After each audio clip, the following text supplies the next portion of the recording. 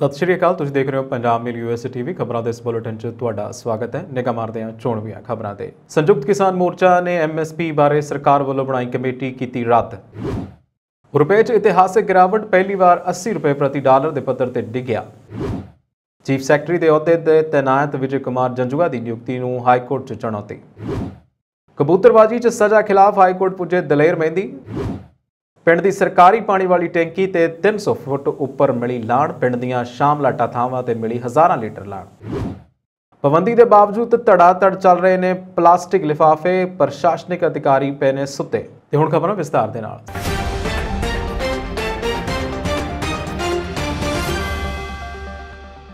ਸੰਯੁਕਤ ਕਿਸਾਨ ਮੋਰਚਾ ਨੇ ਆਪਣੀ ਮੀਟਿੰਗ ਦੇ ਵਿੱਚ ਘੱਟੋ-ਘੱਟ ਸਮਰਥਨ ਮੁੱਲ ਯਾਨੀ ਕਿ ਐਮਐਸਪੀ ਤੇ ਸਰਕਾਰ ਦੀ ਕਮੇਟੀ ਨੂੰ ਰੱਦ ਕਰ ਦਿੱਤਾ। ਕਿਸਾਨ ਆਗੂ ਅਭਿਮਨਿਊ ਕੋਹਾੜ ਨੇ ਕਿਹਾ ਕਿ ਸਰਕਾਰ ਨੇ ਆਪਣੀ ਕਮੇਟੀ ਦੇ ਵਿੱਚ ਉਹਨਾਂ ਅਖੌਤੀ ਕਿਸਾਨ ਆਗੂਆਂ ਨੂੰ ਸ਼ਾਮਲ ਕੀਤਾ, ਜਿਨ੍ਹਾਂ ਨੇ ਤਿੰਨ ਖੇਤੀ ਕਾਨੂੰਨਾਂ ਦਾ ਸਮਰਥਨ ਕੀਤਾ। ਦੱਸਣਯੋਗ ਹੈ ਕਿ ਕੇਂਦਰ ਸਰਕਾਰ ਦੇ ਵੱਲੋਂ ਐਮਐਸਪੀ ਨੂੰ ਲੈ ਕੇ ਜੋ ਕਮੇਟੀ ਬਣਾਈ ਗਈ ਸੀ, ਉਸ ਵਿੱਚ ਪੰਜਾਬ ਦਾ ਇੱਕ ਵੀ ਨੁਮਾਇੰਦਾ ਸ਼ਾਮਲ ਨਹੀਂ ਕੀਤਾ ਗਿਆ। ਇਸ ਦੇ ਵਿਰੋਧ ਦੇ ਵਿੱਚ ਐਸਕੇਐਮ ਨੇ ਇਸ ਕਮੇਟੀ ਨੂੰ ਰੱਦ ਕਰ ਦਿੱਤਾ ਹੈ। ਇਸ ਤੋਂ ਕਿ ਪੰਜਾਬ ਮਾਮਲਿਆਂ ਤੇ ਬਣੀ ਕਮੇਟੀ ਦੇ ਚੇਅਰਮੈਨ ਰਾਘਵ ਚੱਡਾ ਨੇ ਵੀ ਇਸ ਗੱਲ ਦਾ ਵਿਰੋਧ ਕੀਤਾ ਹੈ। ਮੰਗਲਵਾਰ 19 ਜੁਲਾਈ ਨੂੰ ਭਾਰਤੀ ਰੁਪਇਆ ਪਹਿਲੀ ਵਾਰ 80 ਰੁਪਏ ਪ੍ਰਤੀ ਡਾਲਰ ਦੇ ਪੱਧਰ ਤੱਕ ਡਿੱਗਿਆ। ਇਹ ਰੁਪਏ ਦਾ ਹੁਣ ਤੱਕ ਦਾ ਸਭ ਤੋਂ ਹੇਠਲਾ ਪੱਧਰ ਹੈ। ਇਸ ਤਰ੍ਹਾਂ ਪਿਛਲੇ ਕੁਝ ਮਹੀਨਿਆਂ ਤੋਂ ਰੁਪਏ 'ਚ ਲਗਾਤਾਰ ਗਿਰਾਵਟ ਦੇਖਣ ਨੂੰ ਮਿਲ ਰਹੀ ਸੀ। ਉਸ ਤੋਂ ਬਾਅਦ ਇਹ ਖਦਸ਼ਾ ਲਗਭਗ ਭਰੋਸੇ 'ਚ ਬਦਲ ਗਿਆ ਕਿ ਰੁਪਇਆ 80 ਡਾਲਰ ਨੂੰ ਪਾਰ ਕਰ ਜਾਵੇਗਾ। ਪਿਛਲੇ ਸੈਸ਼ਨ 'ਚ ਰੁਪਇਆ 79.97 ਰੁਪਏ ਪ੍ਰਤੀ ਡਾਲਰ ਤੇ ਬੰਦ ਹੋ ਗਿਆ ਸੀ। ਇਸ ਦੇ ਮੁਕਾਬਲੇ ਅੱਜ ਇਹ 79.98 ਡਾਲਰ ਪ੍ਰਤੀ ਰੁਪਏ ਦੀ ਕੀਮਤ ਤੇ ਖੁੱਲਿਆ ਹਾਲਾਂਕਿ ਇਸ ਤੋਂ ਤੁਰੰਤ ਬਾਅਦ 80.05 ਰੁਪਏ ਪ੍ਰਤੀ ਤੇ ਆ ਗਿਆ। 80.05 ਤੇ ਪੱਧਰ ਨੂੰ ਛੂਹਣ ਤੋਂ ਬਾਅਦ ਰੁਪਇਆ 79.93 ਔਰ 94 ਪ੍ਰਤੀ ਡਾਲਰ ਤੇ ਕਾਰੋਬਾਰ ਕਰ ਰਿਹਾ ਹੈ। ਇਸ ਸਮੇਂ ਦੌਰਾਨ ਅਮਰੀਕੀ ਡਾਲਰ ਪਿਛਲੇ ਇੱਕ ਹਫ਼ਤੇ ਦੇ ਹੇਠਲੇ ਪੱਧਰ ਤੋਂ ਥੋੜਾ ਉੱਪਰ ਦਰਜ ਹੋ ਰਿਹਾ ਹੈ। ਜੇਕਰ ਪਿਛਲੇ ਸੈਸ਼ਨ ਦੀ ਗੱਲ ਕਰੀਏ ਤਾਂ ਸੋਮਵਾਰ ਨੂੰ ਅੰਤਰ ਬੈਂਕ ਵਿਦੇਸ਼ੀ ਮੁਦਰਾ ਬਾਜ਼ਾਰ 'ਚ ਅਮਰੀਕੀ ਮੁਦਰਾ ਦੇ ਮੁਕਾਬਲੇ ਰੁਪਇਆ 16 ਪੈਸੇ ਦੀ ਗਿਰਾਵਟ ਦੇ ਨਾਲ 79.98 ਰੁਪਏ ਪ੍ਰਤੀ ਡਾਲਰ ਤੇ ਬੰਦ ਹੋਇਆ। ਵਪਾਰ ਦੌਰਾਨ ਇਹ ਥੋੜੇ ਸਮੇਂ ਲਈ 80 ਰੁਪਏ ਪ੍ਰਤੀ ਡਾਲਰ ਦੇ ਮਨੋਵਿਗਿਆਨਕ ਹੇਠਲੇ ਪੱਧਰ ਤੇ ਚਲਾ ਗਿਆ। ਬਾਜ਼ਾਰ ਸੂਤਰਾਂ ਦਾ ਕਹਿਣਾ ਹੈ ਕਿ ਰੁਪਏ 'ਚ ਗਿਰਾਵਟ ਕੱਚੇ ਤੇਲ ਦੀਆਂ ਕੀਮਤਾਂ 'ਚ ਵਾਧੇ ਅਤੇ ਬਾਜ਼ਾਰ 'ਚੋਂ ਵਿਦੇਸ਼ੀ ਪੂੰਜੀ ਤੇ ਲਗਾਤਾਰ ਬਾਹਰ ਜਾਣ ਕਾਰਨ ਹੋਈ ਹੈ। ਸੋਮਵਾਰ ਨੂੰ ਲੋਕ ਸਭਾ ਦੇ ਵਿੱਚ ਇੱਕ ਲਿਖਤੀ ਜਵਾਬ ਦੇ ਵਿੱਚ ਵਿੱਤ ਮੰਤਰੀ ਨਿਰਮਲਾ ਸੀਤਾਰਮਨ ਨੇ ਕਿਹਾ ਕਿ ਰਿਜ਼ਰਵ ਬੈਂਕ ਦੇ ਅੰਕੜਿਆਂ ਅਨੁਸਾਰ 31 ਦਸੰਬਰ 2014 ਦੀ ਦਰ ਦੇ ਮੁਕਾਬਲੇ ਰੁਪਏ ਦੇ ਵਿੱਚ 25% ਦੀ ਗਿਰਾਵਟ ਆਈ ਹੈ। 31 ਦਸੰਬਰ 2014 ਨੂੰ ਡਾਲਰ ਦੇ ਮੁਕਾਬਲੇ ਰੁਪਇਆ 63.33 ਸੀ, ਜੋ ਕਿ 11 ਜੁਲਾਈ 2022 ਨੂੰ 79.41 ਰੁਪਏ ਪ੍ਰਤੀ ਡਾਲਰ ਦਰਜ ਕੀਤਾ ਗਿਆ। ਇਹ 25% ਤੱਕ ਦੀ ਗਿਰਾਵਟ ਹੈ। ਮੰਤਰੀ ਨੇ ਕਿਹਾ ਕਿ ਅਮਰੀਕੀ ਡਾਲਰ ਦੇ ਮੁਕਾਬਲੇ ਭਾਰਤੀ ਰੁਪਏ ਦੇ ਵਿੱਚ ਗਿਰਾਵਟ ਤੇ ਪਿੱਛੇ ਕੋਈ ਗਲੋਬਲ ਕਾਰਕ ਜਿਵੇਂ ਕਿ ਰੂਸ ਯੂਕਰੇਨ ਵਿਵਾਦ, ਕੱਚੇ ਤੇਲ ਦੀਆਂ ਕੀਮਤਾਂ 'ਚ ਵਾਧਾ ਅਤੇ ਦਬਾਅ ਦੇ ਵਿੱਚ ਚੱਲ ਰਹੀਆਂ ਆਰਥਿਕ ਸਥਿਤੀਆਂ ਸ਼ਾਮਲ ਨੇ। ਪੰਜਾਬ ਦੇ ਚੀਫ ਸੈਕਟਰੀ ਦੇ ਅਹੁਦੇ ਤੇ ਵਿਜੇ ਕੁਮਾਰ ਜੱਜੂਆਂ ਦੀ ਨਿਯੁਕਤੀ ਨੂੰ ਪੰਜਾਬ ਹਰਿਆਣਾ ਹਾਈ ਕੋਰਟ ਦੇ ਵਿੱਚ ਚੁਣੌਤੀ ਦਿੱਤੀ ਗਈ ਹੈ। ਸੋਮਵਾਰ ਨੂੰ ਇਸ ਮਾਮਲੇ ਤੇ ਅਦਾਲਤ ਵਿੱਚ ਸੁਣਵਾਈ ਸੀ। ਪਰ ਪਟੀਸ਼ਨ ਪੱਖ ਦਾ ਵਕੀਲ ਅਦਾਲਤ ਦੇ ਵਿੱਚ ਪੇਸ਼ ਨਹੀਂ ਹੋਇਆ, ਜਿਸ ਤੋਂ ਬਾਅਦ ਸੁਣਵਾਈ ਮੁਲਤਵੀ ਕਰ ਦਿੱਤੀ ਗਈ ਅਤੇ ਅਗਲੀ ਸੁਣਵਾਈ 1 ਅਗਸਤ ਦੇ ਲਈ ਤੈਅ ਕੀਤੀ ਗਈ ਹੈ। ਲੁਧਿਆਣਾ ਨਿਵਾਸੀ ਤੁਲਸੀ ਰਾਮ ਮਿਸ਼ਰਾ ਦੇ ਵੱਲੋਂ ਪਟੀਸ਼ਨ ਦਾਇਰ ਕਰਕੇ 5 ਜੁਲਾਈ 2022 ਦੇ ਪ੍ਰਮੋਸ਼ਨਲ ਆਰਡਰ ਨੂੰ ਖਾਰਜ ਕਰਨ ਦੀ ਮੰਗ ਕੀਤੀ ਗਈ ਹੈ, ਜਿਸ ਵਿੱਚ ਆਈਏਐਸ ਅਧਿਕਾਰੀ ਵਿਜੇ ਕੁਮਾਰ ਜੰਜੂਆ ਨੂੰ ਪ੍ਰਮੋਸ਼ਨ ਦੇ ਕੇ ਚੀਫ ਸੈਕਟਰੀ ਅਹੁਦੇ ਤੇ ਨਿਯੁਕਤ ਕੀਤਾ ਗਿਆ ਸੀ। ਪਟੀਸ਼ਨ ਦੇ ਵਿੱਚ ਕਿਹਾ ਗਿਆ ਹੈ ਕਿ ਜੰਜੂਆ ਖਿਲਾਫ ਭ੍ਰਿਸ਼ਟਾ- ਭ੍ਰਿਸ਼ਟਾਚਾਰ ਦੇ ਮਾਮਲੇ ਦੇ ਵਿੱਚ ਕੇਸ ਵਿਚਾਰ ਅਧੀਨ ਹੈ। ਇਹਨਾਂ ਮਾਮਲਿਆਂ ਦੇ ਵਿੱਚ ਜੱਜੂਆਂ ਖਿਲਾਫ ਮੁਕੱਦਮਾ ਚਲਾਉਣ ਦੀ ਇਜਾਜ਼ਤ ਵੀ ਦਿੱਤੀ ਗਈ ਹੈ। ਅਜਿਹੇ ਦੇ ਵਿੱਚ ਪੰਜਾਬ ਸਰਕਾਰ ਚੀਫ ਸੈਕਟਰੀ ਅਹੁਦੇ ਤੇ ਅਜਿਹੇ ਅਧਿਕਾਰੀ ਦੀ ਨਿਯੁਕਤੀ ਨਹੀਂ ਕਰ ਸਕਦੀ। ਚੰਡੀਗੜ੍ਹ ਕਬੂਤਰਬਾਜ਼ੀ ਮਾਮਲੇ ਦੇ ਵਿੱਚ 2 ਸਾਲਾਂ ਦੀ ਸਜ਼ਾ ਹੋਣ ਤੋਂ ਬਾਅਦ ਜੇਲ੍ਹ ਵਿੱਚ ਬੰਦ ਪ੍ਰਸਿੱਧ ਗਾਇਕ ਦਲੇਰ ਮਹਿੰਦੀ ਨੇ ਹਾਈ ਕੋਰਟ ਦੇ ਵਿੱਚ ਪਟੀਸ਼ਨ ਦਾਇਰ ਕਰਕੇ ਫੈਸਲੇ ਨੂੰ ਚੁਣੌਤੀ ਦਿੱਤੀ ਹੈ। ਜ਼ਿਕਰਯੋਗ ਹੈ ਕਿ ਕਬੂਤਰਬਾਜ਼ੀ ਦੇ 19 ਸਾਲਾ ਪੁਰਾਣੇ ਮਾਮਲੇ ਦੇ ਵਿੱਚ ਪਟਿਆਲਾ ਦੀ ਹੇਠਲੀ ਅਦਾਲਤ ਨੇ ਦਲੇਰ ਮਹਿੰਦੀ ਨੂੰ ਦੋਸ਼ੀ ਕਰਾਰ ਦਿੱਤੇ ਹੋਏ। ਸਾਲ 2018 ਚ 2 ਸਾਲ ਦੀ ਸਜ਼ਾ ਸੁਣਾਈ ਸੀ। ਸਜ਼ਾ ਦੇ ਇਸ ਫੈਸਲੇ ਦੇ ਖਿਲਾਫ ਦਲੇਰ ਮਹਿੰਦੀ ਨੇ ਪਟਿਆਲਾ ਦੇ ਵਧੀਕ ਸੈਸ਼ਨ ਜੱਜ ਦੇ ਸਾਹਮਣੇ ਅਪੀਲ ਦਾਇਰ ਕਰਕੇ ਚੁਣੌਤੀ ਦਿੱਤੀ ਸੀ। ਇਸ ਦੇ ਬਾਅਦ ਸੈਸ਼ਨ ਕੋਰਟ ਨੇ ਵੀ ਹੇਠਲੀ ਅਦਾਲਤ ਦੇ ਫੈਸਲੇ ਨੂੰ ਬਰਕਰਾਰ ਰੱਖਦੇ ਹੋਏ ਉਹਨਾਂ ਦੀ ਅਪੀਲ ਨੂੰ ਖਾਰਜ ਕਰ ਦਿੱਤਾ ਸੀ, ਜਿਸ ਦੇ ਖਿਲਾਫ ਦਲੇਰ ਮਹਿੰਦੀ ਨੇ ਹੁਣ ਪੰਜਾਬ ਅਤੇ ਹਰਿਆਣਾ ਹਾਈ ਕੋਰਟ ਦੇ ਵਿੱਚ ਰਿਵੀਜ਼ਨ ਪਟੀਸ਼ਨ ਦਾਇਰ ਕਰਦੇ ਹੋਏ ਚੁਣੌਤੀ ਦਿੱਤੀ ਹੈ ਅਤੇ ਪਟੀਸ਼ਨ ਨੂੰ ਹਾਈ ਕੋਰਟ ਦੇ ਵਿੱਚ ਵਿਚਾਰ ਅਧੀਨ ਰਹਿਣ ਤੱਕ ਉਹਨਾਂ ਨੂੰ ਸੁਣਾਈ ਗਈ ਸਜ਼ਾ ਤੇ ਰੋਕ ਲਗਾਏ ਜਾਣ ਦੀ ਵੀ ਮੰਗ ਕੀਤੀ ਹੈ। ਦਲੇਰ ਮਹਿੰਦੀ ਇਸ ਸਮੇਂ ਪਟਿਆਲਾ ਜੇਲ੍ਹ ਦੇ ਵਿੱਚ ਬੰਦ ਨੇ, ਜਿੱਥੇ ਨਵਜੋਤ ਸਿੰਘ ਸਿੱਧੂ ਵੀ ਨੇ। ਆਬਾਕਾਰੀ ਵਿਭਾਗ ਅਤੇ ਪੰਜਾਬ ਪੁਲਿਸ ਜ਼ਿਲ੍ਹਾ ਵੱਲੋਂ ਇੱਕ ਜੁਆਇੰਟ ਰੇਡ ਆਪਰੇਸ਼ਨ ਦੇ ਚੱਲਦੇ ਕਸਬਾ ਫਤਿਹਗੜ੍ਹ ਚੂੜੀਆਂ ਦੇ ਨੇੜਲੇ ਜ਼ਿਲ੍ਹਾ ਅੰਮ੍ਰਿਤਸਰ ਅਤੇ ਗੁਰਦਾਸਪੁਰ ਦੇ ਵੱਖ-ਵੱਖ ਪਿੰਡਾਂ 'ਚ ਰੇਡ ਕਰਨ ਤੇ ਵੱਖ-ਵੱਖ ਸ਼ਾਮਲਾਟ ਥਾਵਾਂ ਜਿਵੇਂ ਕਿ ਛੱਪੜਾਂ ਅਤੇ ਡਰੇਨ ਕੰਡੇ ਹਜ਼ਾਰਾਂ ਲੀਟਰ ਲਾਣ ਜ਼ਬਤ ਕਰ ਆਬਾਕਾਰੀ ਵਿਭਾਗ ਵੱਲੋਂ ਨਸ਼ਟ ਕੀਤੀ ਗਈ। ਉੱਥੇ ਹੀ ਇੱਕ ਪਿੰਡ ਚੋਂ ਪਿੰਡ ਦੀ ਥਾਂ, ਪਿੰਡ ਦੀ ਸਰਕਾਰੀ ਪਾਣੀ ਟੈਂਕੀ ਵਾਲੀ ਟੈਂਕੀ ਦੇ ਕਰੀਬ 300 ਫੁੱਟ ਉੱਪਰ ਇੱਕ ਭਰਿਆ ਲਾਣ ਦਾ ਡਰਮ ਬਰਾਮਦ ਕੀਤਾ ਗਿਆ। ਉੱਥੇ ਹੀ ਸ਼ਰਾਬ ਠੇਕੇਦਾਰ ਗੁਰਪ੍ਰੀਤ ਸਿੰਘ ਮੁਤਾਬਕ ਵੱਖ-ਵੱਖ ਪਿੰਡਾਂ 'ਚ ਰੇਡ ਕਰਨ ਦੇ ਡਰਮਾਂ 'ਚੋਂ ਕਰੀਬ 1500 ਲੀਟਰ ਲਾਣ ਬਰਾਮਦ ਕੀਤੀ ਗਈ, ਜਿਸ ਤੋਂ ਹਜ਼ਾਰਾਂ ਲੀਟਰ ਦੇਸੀ ਸ਼ਰਾਬ ਤਿਆਰ ਹੋਣੀ ਸੀ। ਅਤੇ ਜਦ ਕਿ ਇਹ ਸਭ ਸ਼ਾਮਲਾਟਾਂ ਥਾਵਾਂ ਤੇ ਹੀ ਬਰਾਮਦ ਕੀਤੀਆਂ ਗਈਆਂ ਨੇ ਅਤੇ ਲਾਉਣ ਨੂੰ ਨਸ਼ਟ ਕਰ ਦਿੱਤਾ ਗਿਆ। ਪੂਰੇ ਦੇਸ਼ ਵਿੱਚ ਪਲਾਸਟਿਕ ਦੇ ਲਿਫਾਫਿਆਂ ਤੇ ਪੂਰਨ ਪਾਬੰਦੀ ਲਗਾ ਦਿੱਤੀ ਗਈ ਹੈ, ਪਰ ਇਸ ਦੇ ਬਾਵਜੂਦ ਸ਼ਹਿਰ ਦੇ ਵਿੱਚ ਅੱਜ ਵੀ ਪਲਾਸਟਿਕ ਦੇ ਲਿਫਾਫਿਆਂ ਦੀ ਅੰਨ੍ਹੇਵਾਹ ਵਿਕਰੀ ਹੋ ਰਹੀ ਹੈ। ਇਸ ਤੋਂ ਸਾਬਤ ਹੁੰਦਾ ਹੈ ਕਿ ਪ੍ਰਸ਼ਾਸਨ ਨੇ ਲਿਫਾਫਿਆਂ ਤੇ ਸਿਰਫ ਫਾਈਲਾਂ ਦੇ ਵਿੱਚ ਪਾਬੰਦੀ ਲਗਾ ਦਿੱਤੀ ਹੈ। ਬਟਾਲਾ ਨਗਰ ਨਿਗਮ ਦੀ ਗੱਲ ਕਰੀਏ ਤਾਂ ਬਟਾਲਾ ਨਗਰ ਨਿਗਮ ਦੀ ਹੱਦ ਅੰਦਰ ਹਰ ਜਗ੍ਹਾ ਦੁਕਾਨ, ਰੇਹੜੀਆਂ ਤੇ ਲਿਫਾਫੇ ਇਸਤੇਮਾਲ ਹੋ ਰਹੇ ਨੇ।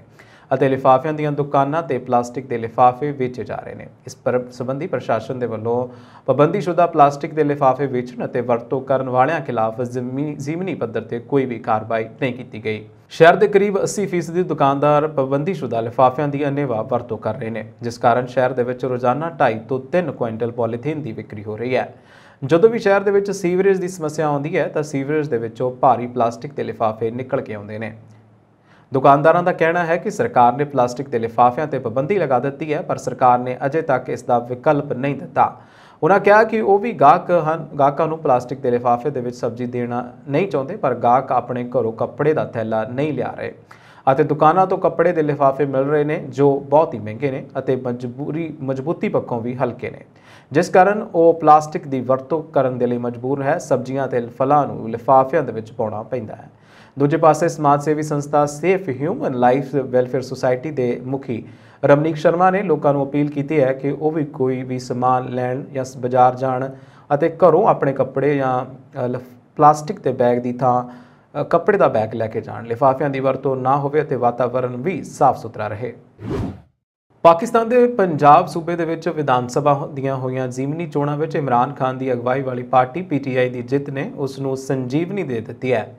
ਉੱਥੇ ਹੀ ਪੀਐਮ ਸ਼ਹਬਾਜ਼ ਸ਼ਰੀਫ ਲਈ ਇੱਕ ਝਟਕਾ ਹੈ। ਨਤੀਜੇ ਤੋਂ ਉਤਸ਼ਾਹਤ ਸਾਬਕਾ ਪੀਐਮ ਇਮਰਾਨ ਖਾਨ ਨੇ ਹੁਣ ਦੇਸ਼ ਵਿੱਚ ਆਮ ਚੋਣਾਂ ਦੀ ਮੰਗ ਕੀਤੀ ਹੈ। ਸੁਪਰੀਮ ਕੋਰਟ ਦੇ ਹੁਕਮਾਂ ਤੇ ਹੁਣ 22 ਜੁਲਾਈ ਨੂੰ ਪੰਜਾਬ ਦੇ ਮੁੱਖ ਮੰਤਰੀ ਅਹੁਦੇ ਦੀ ਚੋਣ ਹੋਵੇਗੀ। ਇਸ ਵਿੱਚ ਪੀਟੀਆਈ ਪੀਐਮ ਐਲਕਿਊ ਦੇ ਸਾਂਝੇ ਉਮੀਦਵਾਰ ਚੌਧਰੀ ਪਰਵੇਜ਼ ਇਲਾਹੀ ਦਾ ਮੁੱਖ ਮੰਤਰੀ ਚੁਣਿਆ ਜਾਣਾ ਹੈ। ਲਗਭਗ ਤੈਅ ਹੈ।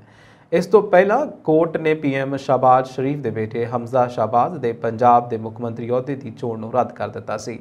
ਅਣਅਧਿਕਾਰਕ ਚੋਣ ਨਤੀਜਾ ਮੁਤਾਬਕ 20 ਸੀਟਾਂ ਤੇ ਹੋਈ ਜ਼ਿਮਨੀ ਚੋਣ ਵਿੱਚ ਪਾਕਿਸਤਾਨ ਤਹਿਰੀਕ ਇਨਸਾਫ ਪਾਰਟੀ ਨੂੰ 16 ਜਦਕਿ ਪੀਐਮ ਸ਼ਾਬਾਜ਼ ਦੀ ਪਾਰਟੀ ਨੂੰ ਪਾਕਿਸਤਾਨ ਮੁਸਲਿਮ ਲੀ- ਲੀਗ ਨਵਾਜ਼ ਨੂੰ ਸਿਰਫ ਤਿੰਨ ਅਤੇ ਇੱਕ ਸੀਟ ਤੇ ਆਜ਼ਾਦ ਉਮੀਦਵਾਰ ਦੀ ਜਿੱਤ ਹੋਈ ਹੈ। ਪੀਟੀਆਈ ਮੁਖੀ ਇਮਰਾਨ ਖਾਨ ਨੇ ਜਿੱਤੇ ਜਿੱਤੇ ਕਿਹਾ ਕਿ ਹੁਣ ਪੀਐਮ ਸ਼ਾਬਾਜ਼ ਦੇ ਕੋਲ ਦੇਸ਼ ਦੇ ਵਿੱਚ ਤਾਜ਼ਾ, ਆਮ ਚੋਣਾਂ ਕਰਾਉਣ ਤੋਂ ਇਲਾਵਾ ਕੋਈ ਬਦਲ ਨਹੀਂ ਹੈ, ਇਸ ਲਈ ਮੁਲਕ ਦੇ ਵਿੱਚ ਛੇਤੀ ਤੋਂ ਛੇਤੀ ਚੋਣਾਂ ਕਰਵਾਉਣੀਆਂ ਚਾਹੀਦੀਆਂ ਨੇ। ਉੱਥੇ ਪੀਐਮ ਸ਼ਾਬਾਜ਼ ਨੇ, ਸ਼ਰੀਫ ਨੇ ਸੋਮਵਾਰ ਨੂੰ ਨਤੀਜੇ ਤੇ ਆਪਣੀ ਪ੍ਰਤੀਕਿਰਿਆ ਦਿੰਦੇ ਹੋਏ ਕਿਹਾ ਆਈਐਮਐਫ ਦੇ ਦਬਾਅ ਵਿੱਚ ਸਖਤ ਫੈਸਲੇ ਲੈਣ ਦੇ ਕਾਰਨ ਪੰਜਾਬ ਦੇ ਵਿੱਚ ਹੋਈਆਂ ਜ਼ਿਮਨੀ ਚੋਣਾਂ ਦੇ ਵਿੱਚ ਪਾਰਟੀ ਦੀ ਹਾਰ ਹੋਈ। ਕਿਸੇ ਨੇ ਸੱਚ ਹੀ ਕਿਹਾ ਹੈ ਕਿ ਰੱਬ ਜਦੋਂ ਦਿੰਦਾ ਹੈ ਤਾਂ ਛੱਫੜ ਫਾੜ ਕੇ ਦਿੰਦਾ ਹੈ। ਅਜਿਹਾ ਹੀ ਮਾਮਲਾ ਅਮਰੀਕਾ ਤੋਂ ਸਾਹਮਣੇ ਆਇਆ, ਜਿੱਥੇ ਇੱਕ ਔਰਤ ਨੇ ਇੱਕ ਹੀ ਨੰਬਰ ਤੇ ਦੋ ਵਾਰ ਲਾਟਰੀ ਜਿੱਤੀ ਹੈ। ਬਹੁਤ ਸਾਰੇ ਲੋਕ ਅਜਿਹਾ, ਅਜਿਹੇ ਹਨ ਜੋ ਅਮੀਰ ਬਣਨ ਦੇ ਲਈ ਲਾਟਰੀ ਜ਼ਰੀਏ ਆਪਣੀ ਕਿਸਮਤ ਅਜ਼ਮਾਉਂਦੇ ਨੇ। ਉਹਨਾਂ ਵਿੱਚੋਂ ਕੁਝ ਨੂੰ ਹੀ ਸਫਲਤਾ ਮਿਲਦੀ ਹੈ। ਕੁਝ ਦੇ ਹੱਥ ਨਿਰਾਸ਼ਾ ਲੱਗਦੀ ਹੈ, ਪਰ ਅਮਰੀਕਾ ਦੇ ਵਿੱਚ ਇੱਕ ਔਰਤ ਨੂੰ ਲਾਟਰੀ ਤੋਂ ਦੁੱਗਣੀ ਵੱਡੀ ਇਨਾਮੀ ਰਾਸ਼ੀ ਮਿਲੀ ਹੈ। ਹਾਈਟਸ ਵਿਲੇ ਦੀ ਇੱਕ ਔਰਤ ਨੇ ਮੈਰੀਲੈਂਡ ਲਾਟਰੀ ਤੇ racetracks virtual horse racing game ਦੇ ਵਿੱਚ ਇੱਕ ਘੋੜੇ ਤੇ ਬਰਾਬਰ ਦਾ ਸੱਟਾ ਲਗਾਇਆ। ਇਸ ਔਰਤ ਨੇ 2 ਮਹੀਨਿਆਂ ਦੇ ਵਿੱਚ 30946 ਡਾਲਰ ਦਾ ਦੂਜਾ ਇਨਾਮ ਜਿੱਤਿਆ। ਉਸਨੇ ਅਧਿਕ ਅਧਿਕਾਰੀਆਂ ਨੂੰ ਦੱਸਿਆ ਕਿ 10 11 ਅਤੇ 12 ਉਸਦੇ ਪਸੰਦੀਦਾ ਸੱਟੇ ਨੇ। ਇਸ ਨਾਲ ਕੁੱਲ 61892 ਡਾਲਰ ਯਾਨੀ ਕਿ 49.34 ਲੱਖ ਰੁਪਏ ਦੀ ਇਨਾਮੀ ਰਾਸ਼ੀ ਮਿਲੀ ਹੈ। ਕਿਸ ਨੇ ਸੱਚ ਹੀ ਕਿਹਾ ਹੈ ਕਿ ਜਦੋਂ ਕਿਸਮਤ ਚਮਕਦੀ ਹੈ ਤਾਂ ਸਾਰੇ ਨੂੰ ਹੈਰਾਨ ਕਰ ਦਿੰਦੀ ਹੈ। ਹਿਊਸਟਨ ਦੇ ਵਿੱਚ ਇੱਕ ਅਪਾਰਟਮੈਂਟ ਕੰਪਲੈਕਸ ਦੇ ਵਿੱਚ ਬਹਿਸਬਾਜ਼ੀ ਦੌਰਾਨ ਹੋਈ ਗੋਲੀਬਾਰੀ ਦੇ ਵਿੱਚ ਚਾਰ ਮੁੰਡਿਆਂ ਦੀ ਮੌਤ ਹੋ ਗਈ। ਅਧਿਕਾਰੀਆਂ ਨੇ ਇਸ ਦੀ ਜਾਣਕਾਰੀ ਦਿੱਤੀ ਹੈ। ਦਾ ਹੈਰਿਸ ਕਾਉਂਟੀ ਸ਼ੈਰਿਫ ਦੇ ਦਫ਼ਤਰ ਨੇ ਕਿਹਾ ਕਿ ਜਦੋਂ ਅਧਿਕਾਰੀ ਘਟਨਾ ਸਥਾਨ ਤੇ ਪਹੁੰਚੇ ਤਾਂ ਉਹਨਾਂ ਨੂੰ ਉੱਥੇ ਚਾਰ ਮੁੰਡਿਆਂ ਦੀਆਂ ਲਾਸ਼ਾਂ ਮਿਲੀਆਂ ਨੇ, ਜਿਨ੍ਹਾਂ ਨੂੰ ਸ਼ਨੀਵਾਰ ਦੇਰ ਰਾਤ ਗੋਲੀ ਮਾਰੀ ਗਈ ਸੀ। ਉਹਨਾਂ ਦੱਸਿਆ ਕਿ ਤਿੰਨ ਦੀ ਮੌਕੇ ਤੇ ਹੀ ਮੌਤ ਹੋ ਗਈ ਸੀ, ਜਦਕਿ ਚੌਥੇ ਦੀ ਹਸਪਤਾਲ ਲੈ ਜਾਂਦੇ ਹੋਏ ਮੌਤ ਹੋ ਗਈ। ਸ਼ੈਰਿਫ ਐਂਡ ਗੋਜ਼ਾਲੇਜ਼ ਨੇ ਟਵਿੱਟਰ ਤੇ ਕਿਹਾ ਕਿ ਮਰਨ ਵਾਲਿਆਂ ਦੇ ਵਿੱਚੋਂ ਦੋ ਦੀ ਉਮਰ 16 ਸਾਲ, ਇੱਕ 19 ਅਤੇ ਇੱਕ 25 ਸਾਲਾਂ ਦਾ ਸੀ। ਸ਼ੈਰਿਫ ਦੇ ਦਫ਼ਤਰ ਦੇ ਅਨੁਸਾਰ ਚਸ਼ਮਦੀਦਾ ਨੇ ਮਰਨ ਵਾਲਿਆਂ ਸਮੇਤ ਕਈ ਮੁੰਡਿਆਂ ਨੂੰ ਬਹਿਸਬਾਜ਼ੀ ਦੇ ਬਾਅਦ ਇੱਕ ਦੂਜੇ ਤੇ ਗੋਲੀਆਂ ਚਲਾਉਂਦੇ ਹੋਏ ਦੇਖਿਆ। ਸ਼ੈਰਿਫ ਦੇ ਦਫ਼ਤਰ ਨੇ ਕਿਹਾ ਕਿ ਫਿਲਹਾਲ ਘਟਨਾ ਦੇ ਪਿੱਛੇ ਦਾ ਮਕਸਦ ਜਾਂ ਦੋਸ਼ੀਆਂ ਬਾਰੇ ਕੋਈ ਜਾਣਕਾਰੀ ਨਹੀਂ ਹੈ। ਮਾਮਲੇ ਦੀ ਜਾਂਚ ਕੀਤੀ ਜਾ ਰਹੀ ਹੈ। 1985 ਦੇ 에ਅਰ ਇੰਡੀਆ ਤਵਾਦੀ ਬੰਬ ਧਮਾਕੇ ਦੇ ਕੇਸ ਦੇ ਵਿੱਚ ਬਰੀ ਕੀਤੇ ਗਏ ਵਿਅਕਤੀ ਰਿਪੁਦਮਨ ਸਿੰਘ ਮਲਿਕ ਦੇ ਕਤਲ ਦੀ ਜਾਂਚ ਕਰ ਰਹੀ ਕੈਨੇਡੀਅਨ ਪੁਲਿਸ ਨੇ ਨਿਸ਼ਾਨਾ ਬਣਾ ਕੇ ਕਤਲ ਕੀਤੇ ਜਾਣ ਨਾਲ ਜੁੜੇ ਵਾਹਨ ਦੀ ਪਛਾਣ ਕੀਤੀ ਹੈ। ਸੀਬੀਆਈ ਨਿਊਜ਼ ਦੇ ਅਨੁਸਾਰ ਸ਼ੁੱਕਰਵਾਰ ਨੂੰ ਏਕੀਕ੍ਰਿਤ ਹੋਮਿਸਾਈਡ ਇਨਵੈਸਟੀਗੇਸ਼ਨ ਟੀਮ ਨੇ ਇੱਕ ਸਫੈਦ ਹੋਂਡਾ ਸੀਆਰਵੀ ਗੱਡੀ ਚਲਾਉਂਦੇ ਹੋਏ ਇੱਕ ਵੀਡੀਓ ਜਾਰੀ ਕੀਤਾ ਸੀ, ਜਿਸ ਵਿੱਚ 75 ਸਾਲਾ ਮਲਿਕ ਨੂੰ ਉੱਥੇ ਗੋਲੀ ਮਾਰਦੇ ਹੋਏ ਪਾਇਆ ਗਿਆ ਸੀ। ਕੈਨੇਡਾ ਦੇ ਬ੍ਰਿਟਿਸ਼ ਕੋਲੰਬੀਆ ਸੂਬੇ ਦੇ ਸਰੀ 'ਚ ਵੀਰਵਾਰ ਸਵੇਰੇ ਰਿਪੂ ਦਮਨ ਦੀ ਗੋਲੀ ਮਾਰ ਕੇ ਕਤਲ ਕਰ ਦਿੱਤਾ ਗਿਆ ਸੀ। ਖਬਰ ਦੀ ਪੁਸ਼ਟੀ ਕਰਦੇ ਹੋਏ ਮਲਿਕ ਤੇ ਜੀਜਾ ਜਸਪਾਲ ਸਿੰਘ ਨੇ ਏਐਨਆਈ ਨੂੰ ਦੱਸਿਆ ਕਿ ਅਸੀਂ ਇਸ ਬਾਰੇ ਅਨਿਸ਼ਚਿਤ ਹਾਂ ਕਿ ਰਿਪੂ ਦਮਨ ਦਾ ਕਤਲ ਕਿਸਨੇ ਕੀਤਾ। ਉਸ ਦੀ ਛੋਟੀ ਭੈਣ ਕੈਨੇਡਾ ਜਾ ਰਹੀ ਹੈ। ਮਲਿਕ ਉਹਨਾਂ ਵਿਅਕਤੀਆਂ ਦੇ ਵਿੱਚੋਂ ਇੱਕ ਸੀ ਜਿਨ੍ਹਾਂ ਦੇ 에ਅਰ ਇੰਡੀਆ ਦੀ ਫਲਾਈਟ 182 ਕਨਿਸ਼ੰਕ ਦੇ ਬੰਬ ਧਮਾਕੇ ਦੇ ਵਿੱਚ ਅਹਿਮ ਭੂਮਿਕਾ ਨਿਭਾਉਣ ਦਾ ਦੋਸ਼ ਸੀ। 23 ਜੂਨ 1985 ਨੂੰ ਆਇਰਲੈਂਡ ਦੇ ਤੱਟ ਤੇ ਕੈਨੇਡਾ ਤੋਂ 에ਅਰ ਇੰਡੀਆ ਦੀ ਫਲਾਈਟ 182 ਕਨਿਸ਼ਕ ਵਿੱਚ ਬੰਬ ਧਮਾਕਾ ਹੋਇਆ ਸੀ, ਜਿਸ ਵਿੱਚ 329 ਯਾਤਰੀਆਂ ਅਤੇ ਚਾਲਕ ਦਲ ਦੇ ਮੈਂਬਰ ਮਾਰੇ ਗਏ ਸਨ। ਇਸ ਵਿੱਚ 280 ਤੋਂ ਵੱਧ ਕੈਨੇਡੀਅਨ ਨਾਗਰਿਕ ਸ਼ਾਮਲ ਸਨ, ਜਿਨ੍ਹਾਂ ਦੇ ਵਿੱਚ 29 ਪੂਰੇ ਪਰਿਵਾਰ ਅਤੇ 12 ਸਾਲ ਤੋਂ ਘੱਟ ਉਮਰ ਦੇ 86 ਬੱਚੇ ਸ਼ਾਮਲ ਹਨ। ਜਬਰ ਜਨਾਹ ਸਮੇਤ ਹੋਰ ਮਾਮਲਿਆਂ ਦੀ ਜਾਂਚ ਦਾ ਸਾਹਮਣਾ ਕਰ ਰਹੇ ਲੋਕ ਇਨਸਾਫ ਪਾਰਟੀ ਦੇ ਮੁਖੀ ਅਤੇ ਸਾਬਕਾ ਵਿਧਾਇਕ ਸਿਮਰਜੀਤ ਸਿੰਘ ਮੈਸ ਨੂੰ ਅੱਜ ਵੇਰਕਾ ਤੇ ਕੇਬਲ ਨੈਟਵਰਕ ਕੰਪਨੀ ਦੇ ਵੱਲੋਂ ਦਾਇਰ ਮੁਕੱਦਮੇ ਤਹਿਤ ਅਦਾਲਤ ਵਿੱਚ ਪੇਸ਼ ਕੀਤਾ ਗਿਆ। ਇੱਥੇ ਮਾਣਯੋਗ ਅਦਾਲਤ ਨੇ ਉਹਨਾਂ ਨੂੰ 14 ਦਿਨਾਂ ਦੀ ਨਿਆਇਕ ਹਿਰਾਸਤ ਦੇ ਵਿੱਚ ਭੇਜ ਦਿੱਤਾ ਹੈ। ਦੱਸਣਯੋਗ ਹੈ ਕਿ ਸਿਮਰਜੀਤ ਸਿੰਘ ਬੈਂਸ ਆਪਣੇ ਸਾਥੀਆਂ ਸਮੇਤ ਬੀਤੇ ਸਾਲ ਦੁੱਧ ਉਤਪਾਦਨ ਕੰਪਨੀ ਵੇਰਕਾ ਦੀ ਲੈਬ 'ਚ ਬਿਨਾਂ ਮਨਜ਼ੂਰੀ ਦੇ ਦਾਖਲ ਹੋ ਗਏ ਸਨ। ਇਸ ਤੋਂ ਬਾਅਦ ਵੇਰਕਾ ਮੈਨੇਜਮੈਂਟ ਵੱਲੋਂ ਉਹਨਾਂ ਖਿਲਾਫ ਮਾਮਲਾ ਦਰਜ ਕਰਵਾਇਆ ਗਿਆ ਸੀ। ਇਸੇ ਤਰ੍ਹਾਂ ਕੇਬਲ ਨੈਟਵਰਕ ਕੰਪਨੀ ਦੇ ਵੱਲੋਂ ਦਾਇਰ ਮਾਮਲੇ 'ਚ ਵੀ ਸਿਮਰਜੀਤ ਸਿੰਘ ਬੈਂਸ ਦੀ ਦੋਸ਼ੀ ਹਨ। ਇਨ, ਇਹਨਾਂ ਦੋਹਾਂ ਕੇਸਾਂ 'ਚ ਸੁਣਵਾਈ ਤੋਂ ਬਾਅਦ ਸਿਮਰਜੀਤ ਸਿੰਘ ਬੈਂਸ ਨੂੰ ਨਿਆਇਕ ਹਿਰਾਸਤ 'ਚ ਭੇਜ ਦਿੱਤਾ ਗਿਆ ਹੈ। ਹਰਿਆਣਾ ਦੇ ਤਾਵੂਡ ਦੇ ਡੀਐਸਪੀ ਸੁਰਿੰਦਰ ਸਿੰਘ ਨੂੰ ਅੱਜ ਡੰਪ ਡਰਾਈਵਰ ਨੇ ਉਸ ਵੇਲੇ ਆਪਣੀ ਗੱਡੀ ਹੇਠ ਦੇ ਕੇ ਮਾਰ ਦਿੱਤਾ, ਜਦੋਂ ਉਸ ਨੂੰ ਰੋਕ ਕੇ ਕਾਗਜ਼ਾਤ ਮੰਗੇ ਗਏ ਸਨ। ਡੀਐਸਪੀ ਆਪਣੀ ਟੀਮ ਸਮੇਤ ਟੌਰੂ ਨੇੜੇ ਪੰਚਗਾਉਂ ਇਲਾਕੇ 'ਚ ਅਰਾਵਲੀ ਪਹਾੜੀਆਂ ਤੇ ਨਜਾਇਜ਼ ਮਾਈਨਿੰਗ ਖਿਲਾਫ ਕਾਰਵਾਈ ਕਰਨ ਲਈ ਗਿਆ ਸੀ। ਸਵੇਰੇ ਤਕਰੀਬਨ 11:30 ਵਜੇ ਦੇ ਕਰੀਬ ਡੀਐਸਪੀ ਦੋ ਪੁਲਿਸ ਕਰਮਚਾਰੀਆਂ, ਡਰਾਈਵਰ ਅਤੇ ਗਨਮੈਨ ਛਾਪਾ ਮਾਰਨ ਗਿਆ। ਉਸਨੇ ਡੰਪਰ ਨੂੰ ਦੇਖਿਆ ਅਤੇ ਉਸ ਨੂੰ ਰੋਕਣ ਦਾ ਇਸ਼ਾਰਾ ਕਰ ਦਿੱਤਾ। ਉਸਨੇ ਡਰਾਈਵਰ ਤੋਂ ਕਾਗਜ਼ਾਤ ਮੰਗੇ, ਪਰ ਡਰਾਈਵਰ ਨੇ ਗੱਡੀ ਭਜਾਉਣ ਵੇਲੇ ਡੀਐਸਪੀ ਨੂੰ ਹੇਠਾਂ ਦੇ ਕੇ ਮਾਰ ਦਿੱਤਾ। ਪੰਜਾਬ ਦੇ ਸਰਕਾਰੀ ਸਕੂਲਾਂ 'ਚ ਇਸ ਸਾਲ 2 ਲੱਖ ਤੋਂ ਵੱਧ ਦਾਖਲੇ ਘਟੇ ਨੇ। ਉਂਝ 2016-17 ਤੋਂ ਸਰਕਾਰੀ ਸਕੂਲਾਂ 'ਚ ਵਿਦਿਆਰਥੀਆਂ ਦੇ ਦਾਖਲੇ ਵਧਣੇ ਸ਼ੁਰੂ ਹੋਏ ਨੇ, ਪਰ ਲੰਘੇ ਦੋ ਵਰਿਆਂ ਤੋਂ ਸਰਕਾਰੀ ਸਕੂਲਾਂ 'ਚ ਦਾਖਲਾ ਦਰ ਤੇਜ਼ੀ ਦੇ ਨਾਲ ਵਧੀ ਸੀ। ਹੁਣ ਨਵੀਂ ਸਰਕਾਰ ਦੇ ਪਹਿਲੇ ਵਰੇ ਹੀ ਸਰਕਾਰੀ ਸਕੂਲਾਂ 'ਚ 2.04 ਲੱਖ ਦਾਖਲੇ ਘਟ ਗਏ ਨੇ। ਨਵੇਂ ਵਿਦਿਅਕ ਸੈਸ਼ਨ ਦੇ ਦਾਖਲੇ ਪਹਿਲੀ ਅਪ੍ਰੈਲ ਤੋਂ ਸ਼ੁਰੂ ਹੋਏ ਸਨ ਅਤੇ ਹੁਣ ਦਾਖਲਾ ਪ੍ਰਕਿਰਿਆ ਬੰਦ ਹੋ ਚੁੱਕੀ ਹੈ। ਪ੍ਰਾਪਤ ਵੇਰਵਿਆਂ ਅਨੁਸਾਰ ਪੰਜਾਬ ਦੇ ਸਰਕਾਰੀ ਸਕੂਲਾਂ ਦੇ ਵਿੱਚ ਇਸ ਵਾਰ ਪ੍ਰੀ ਪ੍ਰਾਇਮਰੀ ਤੋਂ 12ਵੀਂ ਕਲਾਸ ਤੱਕ ਕੁੱਲ 28.36 ਲੱਖ ਦਾਖਲੇ ਹੋਏ ਹਨ, ਜਦਕਿ 2021-22 ਦੇ ਵਿੱਚ ਇਹਨਾਂ ਦਾਖਲਿਆਂ ਦੀ ਗਿਣਤੀ 30.40 ਲੱਖ ਸੀ। ਦਾਖਲਿਆਂ ਦੇ ਵਿੱਚ ਕਰੀਬ ਪੌਣੇ 7% ਦੀ ਕਟੌਤੀ ਹੋਈ ਹੈ। ਲੰਘੇ ਵਰੇ ਸਰਕਾਰੀ ਸਕੂਲਾਂ ਵਿੱਚ ਦਾਖਲਿਆਂ 'ਚ ਕਰੀਬ 10.53% ਦੀ ਵਾਧਾ ਹੋਇਆ ਸੀ। ਉਸ ਤੋਂ ਪਹਿਲਾਂ ਇਹ ਵਾਧਾ ਕਰੀਬ 14% ਦੀ ਸੀ। ਅੰਕੜਿਆਂ ਅਨੁਸਾਰ 6ਵੀਂ ਤੋਂ 12ਵੀਂ ਕਲਾਸ ਤੱਕ ਦੇ ਦਾਖਲਿਆਂ ਦੇ ਵਿੱਚ ਪਿਛਲੇ ਵਰੇ ਮੁਕਾਬਲੇ 1.22 ਲੱਖ ਬੱਚੇ ਘਟੇ ਨੇ। ਐਤਕੀ ਇਹਨਾਂ ਕਲਾਸਾਂ ਦੇ ਵਿੱਚ 14.51 ਲੱਖ ਬੱਚੇ ਦਾਖਲ ਹੋਏ ਨੇ, ਜਦਕਿ ਪਿਛਲੇ ਵਰੇ ਇਹੋ ਹੀ ਗਿਣਤੀ 15.73 ਲੱਖ ਸੀ। ਪ੍ਰੀ ਪ੍ਰਾਇਮਰੀ ਚੋਂ ਪੰਜਵੀਂ ਕਲਾਸ ਤੱਕ ਇਸ ਵਾਰ 13.84 ਲੱਖ ਬੱਚੇ ਦਾਖਲ ਹੋਏ ਨੇ, ਜਦਕਿ ਪਿਛਲੇ ਵਰੇ ਇਹ ਗਿਣਤੀ 14.67 ਲੱਖ ਸੀ। ਕੈਨੇਡਾ ਦੇ ਟੋਰਾਂਟੋ ਵਿਚਾਲੇ ਨਾਈਟ ਕਲੱਬ ਦੇ ਵਿੱਚ ਗੋਲੀਬਾਰੀ ਦੌਰਾਨ 26 ਸਾਲਾ ਪੰਜਾਬੀ ਨੌਜਵਾਨ ਦੀ ਮੌਤ ਹੋ ਗਈ ਹੈ। ਮ੍ਰਿਤਕ ਦੀ ਪਛਾਣ ਪ੍ਰਦੀਪ ਬਰਾੜ ਦੇ ਵਜੋਂ ਹੋਈ ਹੈ। ਪੁਲਿਸ ਨੇ ਦੱਸਿਆ ਕਿ ਇਸ ਘਟਨਾ 'ਚ ਇੱਕ 24 ਸਾਲਾ ਮੁਟਿਆਰ ਵੀ ਜ਼ਖਮੀ ਹੋਈ ਹੈ, ਪਰ ਉਸ ਨੂੰ ਉਸ ਹਸਪਤਾਲ ਤੋਂ ਛੁੱਟੀ ਦੇ ਦਿੱਤੀ ਗਈ ਹੈ। ਪ੍ਰਦੀਪ ਬਰਾੜ ਐਤਵਾਰ ਤੜਕੇ 647 ਕਿੰਗ ਸੇਂਟ ਵਿਖੇ ਮੁਟਿਆਰ ਸਮੇਤ ਜ਼ਖਮੀ ਹੋ ਗਏ ਸਨ। ਹਾਲ ਗੋਲੀਬਾਰੀ ਦੇ ਕਾਰਨ ਦਾ ਹਾਲੇ ਗੋਲੀਬਾਰੀ ਦੇ ਕਾਰਨ ਦਾ ਪਤਾ ਨਹੀਂ ਲੱਗ ਸਕਿਆ। ਪੰਜਾਬ ਪੁਲਿਸ ਨੇ ਨਜਾਇਜ਼ ਖਨਨ ਦੇ ਮਾਮਲੇ ਦੇ ਵਿੱਚ ਹੁਣ ਸਾਬਕਾ ਮੁੱਖ ਮੰਤਰੀ ਚਰਨਜੀਤ ਸਿੰਘ ਚੰਨੀ ਦੇ ਭਾਣਜੇ ਭੁਪਿੰਦਰ ਸਿੰਘ ਉਰਫ ਹਨੀ ਅਤੇ ਉਸ ਦੇ ਸਾਥੀ ਕੁਦਰਤਦੀਪ ਸਿੰਘ ਖਿਲਾਫ ਨਵਾਂ ਪੁਲਿਸ ਕੇਸ ਦਰਜ ਕੀਤਾ ਹੈ। ਨਵਾਂ ਕੇਸ ਦਰਜ ਹੋਣ ਨਾਲ ਚੰਨੀ ਦੇ ਭਾਣਜੇ ਦੀਆਂ ਮੁਸ਼ਕਲਾਂ ਹੋਰ ਵਧਣ ਲੱਗ ਪਈਆਂ ਨੇ। ਹਾਲਾ ਜੁਲਾਈ ਦੇ ਪਹਿਲੇ ਹਫ਼ਤੇ ਹੀ ਹਾਈ ਕੋਰਟ ਤੋਂ ਭਵਿੰਦਰ ਹਨੀ ਨੂੰ ਜ਼ਮਾਨਤ ਮਿਲੀ ਸੀ। ਆਈਜੀ ਡਾਕਟਰ ਸੁਖਚੈਨ ਸਿੰਘ ਗਿੱਲ ਨੇ ਅੱਜ ਇੱਥੇ ਦੱਸਿਆ ਕਿ ਥਾਣਾ ਰਾਹੋ 'ਚ ਭੁਪਿੰਦਰ ਹਨੀ ਅਤੇ ਕੁਦਰਤਦੀਪ ਸਿੰਘ ਖਿਲਾਫ F I R number 73 mining and minerals act ਦੀਆਂ ਧਾਰਾਵਾਂ 21 ਅਤੇ 41 ਆਈਪੀਸੀ ਦੀ ਧਾਰਾ 379 406 420 465 471 ਅਤੇ 120 ਬੀ ਅਤੇ ਵਾਤਾਵਰਣ ਸੁਰੱਖਿਆ ਐਕਟ ਦੀ ਧਾਰਾ 15 ਤਹਿਤ ਕੇਸ ਦਰਜ ਕੀਤਾ ਗਿਆ ਹੈ। ਹਮਲੇ ਦੀ ਅਗਲੀ ਜਾਂਚ ਲਈ ਐਸਪੀ ਇਨਵੈਸਟੀਗੇਸ਼ਨ ਦੀ ਨਿਗਰਾਨੀ ਹੇਠ ਨਵੀਂ ਵਿਸ਼ੇਸ਼ ਜਾਂਚ ਟੀਮ ਦਾ ਗਠਨ ਕੀਤਾ ਗਿਆ ਹੈ। ਪੰਜਾਬ ਪੁਲਿਸ ਨੇ ਭੁਪਿੰਦਰ ਹਰੀ ਨੂੰ ਜਾਂਚ ਦੇ ਵਿੱਚ ਸ਼ਾਮਲ ਹੋਣ ਲਈ ਨੋਟਿਸ ਜਾਰੀ ਕੀਤਾ ਹੈ, ਜਦੋਂ ਕਿ ਕਪੂਰਥਲਾ ਜੇਲ੍ਹ ਦੇ ਵਿੱਚ ਬੰਦ ਕੁਦਰਤਦੀਪ ਨੂੰ ਮੰਗਲਵਾਰ ਨੂੰ ਪ੍ਰੋਡਕਸ਼ਨ ਵਾਰੰਟ ਤੇ ਲਿਆਂਦਾ ਜਾਵੇਗਾ। ਉਹਨਾਂ ਦੱਸਿਆ ਕਿ ਇਨਫੋਰਸਮੈਂਟ ਡਾਇਰੈਕਟੋਰੇਟ ਨੇ ਆਪਣੇ ਪੱਤਰ ਰਾਹੀਂ ਐਸਐਸਬੀਐਸ ਨਗਰ ਨਾਲ 73 ਵੇਟਮੈਂਟ ਸਲਿੱਪਾਂ ਬਾਰੇ ਜਾਣਕਾਰੀ ਸਾਂਝੀ ਕੀਤੀ ਸੀ ਅਤੇ ਇਸ ਤੋਂ ਇਲਾਵਾ ਮਾਈਨਿੰਗ ਵਿਭਾਗ ਨੂੰ ਮਲਿਕਪੁਰ ਰੇਤ ਮਾਈਨਿੰਗ ਸਾਈਟ ਤੋਂ ਨਜਾਇਜ਼ ਮਾਈਨਿੰਗ ਰਾਹੀਂ ਅਧਿਕਾਰਿਤ ਮਿਕਦਾਰ ਤੋਂ ਵੱਧ ਰੇਤ ਬਰਾਮਦ ਹੋਣ ਦੀ ਜਾਣਕਾਰੀ ਮਿਲੀ ਸੀ।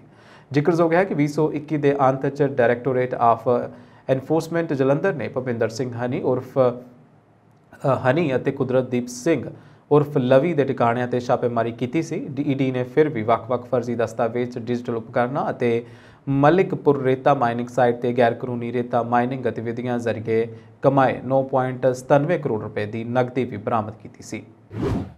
ਸਾਬਕਾ chancellor Rishi Sunak conservative party ਦੇ ਆਗੂ ਬੋਰਿਸ ਜੌਨਸਨ ਦੀ ਥਾਂ ਬਰਤਾਨਵੀ ਪ੍ਰਧਾਨ ਮੰਤਰੀ ਬਣਨ ਦੀ ਦੌੜ ਦੇ ਵਿੱਚ ਅੱਗੇ ਹੋ ਗਏ ਨੇ।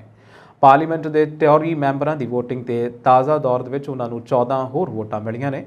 42 ਸਾਲਾ ਸੁਨਕ ਪਿਛਲੇ ਹਫ਼ਤੇ VOTING ਸ਼ੁਰੂ ਹੋਣ ਤੋਂ ਬਾਅਦ ਲਗਾਤਾਰ ਦੂਸ ਸੂਚੀ ਦੇ ਵਿੱਚ ਸਿਖਰ ਤੇ ਨੇ ਅਤੇ ਸੋਮਵਾਰ ਨੂੰ ਤੀਜੇ ਗੇੜ ਦੇ ਵਿੱਚ 115 ਵੋਟਾਂ ਪ੍ਰਾਪਤ ਕੀਤੀਆਂ ਨੇ, ਜਿਸ ਨਾਲ ਦੌੜ ਦੇ ਵਿੱਚ ਸਿਰਫ 4 ਉਮੀਦਵਾਰ ਰਹਿ ਗਏ ਨੇ। ਪੰਜਾਬ ਖੇਤੀਬਾੜੀ ਯੂਨੀਵਰਸਿਟੀ ਦੀਆਂ ਸਿਫਾਰਸ਼ਾਂ ਤੇ ਦਵਾਈਆਂ ਦਾ ਛਿੜਕਾਅ ਵੀ ਫਸਲਾਂ ਨੂੰ ਚਿੱਟੀ ਮੱਖੀ ਤੇ ਗੁਲਾਬੀ ਸੁੰਡੀ ਦੀ ਮਾਰ ਤੋਂ ਬਚਾ ਨਹੀਂ ਸਕਿਆ। ਅਤੇ ਹੁਣ ਅੱਕੇ ਕਿਸਾਨ ਰੋਜ਼ਾਨਾ ਆਪਣੀ ਫਸਲ ਵਾਹ ਰਹੇ ਨੇ। ਇਸੇ ਦੌਰਾਨ ਕਿਸਾਨ ਜਥੇਬੰਦੀਆਂ ਨੇ ਮੁਆਵਜ਼ੇ ਦੀ ਮੰਗ ਕੀਤੀ ਹੈ ਅਤੇ ਅਜਿਹਾ ਨਾ ਹੋਣ ਤੇ ਸੰਘਰਸ਼ ਵਿੰਡਣ ਦਾ ਐਲਾਨ ਕੀਤਾ ਹੈ। ਮਿਲੇ ਵੇਰਵਿਆਂ ਮੁਤਾਬਕ ਅੱਜ ਮਾਨਸਾ ਜ਼ਿਲ੍ਹੇ ਦੇ ਪਿੰਡ ਪੈਰੋ ਵਿੱਚ ਗੁਰਦੀਪ ਸਿੰਘ ਨੇ ਡੇਢ ਏਕੜ ਸੁਖਰਾਜ ਸਿੰਘ ਨੇ 9 ਕਨਾਲਾ, ਹਰਬੰਸ ਸਿੰਘ ਨੇ 2 ਏਕੜ, ਸੇਵਕ ਸਿੰਘ ਨੇ 2 ਏਕੜ, ਸੁਖਰਾਜ ਸਿੰਘ ਨੇ 2 ਏਕੜ, ਜਗਪਾਲ ਸਿੰਘ ਨੇ ਡੇਢ ਏਕੜ ਜ਼ਮੀਨ ਜਿਹੜੀ ਹੈ ਉਹ ਵਾ ਦਿੱਤੀ ਹੈ। ਭਾਰਤੀ ਕਿਸਾਨ ਯੂਨੀਅਨ ਏਕਤਾ ਸਿੱਧੂਪੁਰ ਦੇ ਆਗੂ ਲਖਵੀਰ ਅਕਾਲੀਆ ਨੇ ਤੇ ਮੱਖਣ ਸਿੰਘ ਭੈਣੀ ਬਾਗਾ ਨੇ ਕਿਹਾ ਕਿ ਇਸ ਔਖੀ ਘੜੀ ਦੇ ਵਿੱਚ ਸਰਕਾਰ ਨੂੰ ਨਰਮਾ ਕਾਸ਼ਤਕਾਰਾਂ ਦੀ ਬਾਹ ਫੜਨੀ ਚਾਹੀਦੀ ਹੈ ਤੇ ਵਾਹੇ ਹੋਏ ਨਰਮੇ ਦੀ ਗਿਰਦਾਵਰੀ ਕਰਵਾ ਕੇ ਪ੍ਰਤੀ ਏਕੜ 60000 ਰੁਪਏ ਮੁਆਵਜ਼ਾ ਦੇਣਾ ਚਾਹੀਦਾ ਹੈ। ਕਿਸਾਨ ਜਥੇਬੰਦੀਆਂ ਦਾ ਵਫਦ ਡੀਸੀ ਮਾਨਸਾ ਬਲਦੀਪ ਕੌਰ ਨੂੰ ਮਿਲਿਆ ਤੇ ਨੁਕਸਾਨੀ ਫਸਲ ਦਾ ਸਰਵੇਖਣ ਕਰਵਾਉਣ ਦੀ ਮੰਗ ਕੀਤੀ ਹੈ। ਕਿਸਾਨ ਜਥੇਬੰਦੀਆਂ ਦਾ ਵਫਦ ਡੀਸੀ ਮਾਨਸਾ ਬਲਦੀਪ ਕੌਰ ਨੂੰ ਮਿਲਿਆ ਤੇ ਨੁਕਸਾਨੀ ਫਸਲ ਦਾ ਸਰਵੇਖਣ ਕਰਵਾਉਣ ਦੀ ਮੰਗ ਕੀਤੀ ਹੈ। ਭਾਜਪਾ ਦੀ ਕੱਢੀ ਗਈ ਨੇਤਾ ਨੂਪਰ ਸ਼ਰਮਾ ਦੀਆਂ ਪਟੀਸ਼ਨਾਂ ਤੇ ਹੁਣ ਸੁਪਰੀਮ ਕੋਰਟ 'ਚ 10 ਅਗਸਤ ਨੂੰ ਸੁਣਵਾਈ ਹੋਵੇਗੀ। ਸੁਪਰੀਮ ਕੋਰਟ ਨੇ ਨੂਪਰ ਸ਼ਰਮਾ ਦੀ ਸੁਰੱਖਿਆ ਨੂੰ ਲੈ ਕੇ ਨੋਟਿਸ ਜਾਰੀ ਕੀਤਾ ਹੈ। ਅਦਾਲਤ ਨੇ ਕੇਂਦਰ ਤੇ ਸੂਬਾ ਸਰਕਾਰ ਨੂੰ ਨੋਟਿਸ ਦਿੱਤਾ ਹੈ। ਦੱਸ ਦਈਏ ਕਿ ਨੂਪਰ ਸ਼ਰਮਾ ਨੇ ਅਦਾਲਤ ਦੇ ਵਿੱਚ ਪਟੀਸ਼ਨ ਦਾਇਰ ਕੀਤੀ ਸੀ। ਆਪਣੀ ਅਰਜ਼ੀ 'ਚ ਨੂਪਰ ਨੇ ਕਿਹਾ ਕਿ ਪਿਛਲੀ ਪਟੀਸ਼ਨ ਤੇ ਸੁਪਰੀਮ ਕੋਰਟ ਦੀ ਪ੍ਰਤੀਕੂਲ ਟਿੱਪਣੀ ਕਾਰਨ ਉਸ ਨੂੰ ਅਰਾਜਕ ਤੱਤਾਂ ਤੋਂ ਆਪਣੀ ਜਾਨ ਦਾ ਖਤਰਾ ਹੈ। ਉਸਨੇ ਅਦਾਲਤ ਤੋਂ ਗ੍ਰਿਫਤਾਰੀ ਲਈ ਰਾਹਤ ਮੰਗੀ ਸੀ। ਇਹ ਹੁਣ ਤੱਕ ਦੀਆਂ ਖਬਰਾਂ ਤੁਸੀਂ ਦੇਖਦੇ ਰਹੋ ਪੰਜਾਬ ਮਿਲ ਯੂਐਸਏ ਟੀਵੀ ਮੈਨੂੰ ਦਿਆ ਗਿਆ। ਸਤਿ ਸ਼੍ਰੀ ਅਕਾਲ।